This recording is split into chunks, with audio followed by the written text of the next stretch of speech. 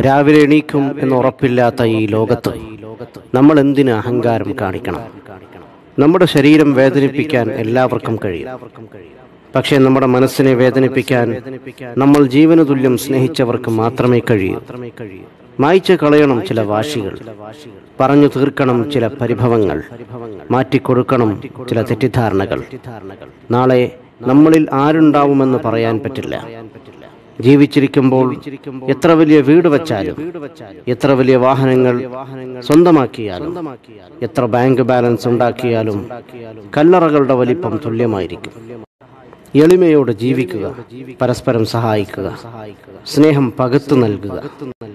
പഞ്ചസാരക്കും ഉപ്പിനും ഒരേ നിറമാണ്. പക്ഷേ രണ്ടിന്റെയും രുചി വളരെ വ്യത്യസ്തമാണ്. അതുപോലെയാണ് ചില സുഹൃത്ത് ബന്ധങ്ങളും സ്നേഹിക്കാൻ ഒരു മനസ്സുണ്ടെങ്കിൽ പിന്നെ കുറവുകൾക്കൊന്നും അവിടെ സ്ഥാനമില്ല. കുറവുകൾ അറിഞ്ഞു സ്നേഹിക്കുമ്പോഴാണ് സ്നേഹം യാഥാർത്ഥ്യമാവുന്നത്. കൂര ചെറുതാണെങ്കിലും അതിനുള്ളിൽ സമാധാനമുണ്ടെങ്കിൽ അത് കൊട്ടാരത്തെക്കാൾ വലുതാണ്.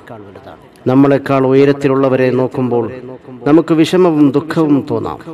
നമ്മളെക്കാൾ താഴെയുള്ളവരെ ഒന്ന് നോക്കൂ. അപ്പോൾ മനസ്സിലാകും നാം എത്ര ഉയരത്തിലാണെന്ന്. ഉറങ്ങാൻ കിടക്കുമ്പോൾ എല്ലാവർക്കും മാപ്പ് കൊടുക്കുക. ശുദ്ധ മനസ്സോടെ ഉറങ്ങാൻ ശ്രമിക്കുക. സ്നേഹം ചെറുപ്പത്തിൽ സൗജന്യമായി ലഭിക്കുന്നു. യൗവനത്തിൽ അതിനായി അധ്വാനിക്കേണ്ടി വരുന്നു. വാർദ്ധക്യത്തിൽ അതിനായി യാചിക്കേണ്ടി വരുന്നു. ചിലർ നിങ്ങളുടെ മുന്നിലെത്തുന്നത് ഒരു അനുഗ്രഹമായിരിക്കും. ചിരിക്കുന്ന മുഖങ്ങൾ സൂചിപ്പിക്കുന്നത് അവർക്ക് ദുഃഖമില്ലെന്നല്ല. മറിച്ച് അത് കാണിക്കാതിരിക്കാനും കൈകാര്യം ചെയ്യാനും അവർ പഠിച്ചിരിക്കുന്നു എന്നതാണ്. സ്വന്തമെന്ന് തോന്നുന്നവരോട് എന്തും നമ്മൾക്ക് സംസാരിക്കാൻ കഴിയും.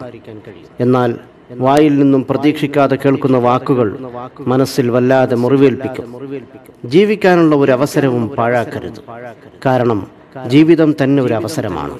ഒന്ന് കാലു തന്നെ വീണാൽ തീരുന്ന ജീവിതത്തിന് എന്തു ജാതി എന്തു മതം എന്തു നിറം? ശരീരത്തിൽ ജീവനുള്ളപ്പോൾ മുഖത്ത് നോക്കാൻ ആർക്കും സമയമില്ല. എന്നാൽ മരണപ്പെട്ടാൽ ആ മുഖം കാണാൻ തിരക്ക് കൂട്ടുന്നു. ഓർക്കുക ജീവൻ പിരിഞ്ഞിട്ട് മുഖത്ത് നോക്കുന്നതിനേക്കാൾ നല്ലത് ജീവിച്ചിരിക്കുമ്പോൾ നിറമനസ്സോടെ മറ്റുള്ളവരുടെ മുഖത്ത് നോക്കി പുഞ്ചിരിക്കുന്നതാണ്. അനുഭവത്തെക്കാൾ വലിയൊരു പാഠവും ജീവിതത്തെക്കാൾ വലിയൊരു വിദ്യാലയവും ഈ ഭൂമിയിലില്ല. ഒന്നോർക്കുക പാവപ്പെട്ടവനും പണക്കാരനും ആറടി മണ്ണ് മാത്രം.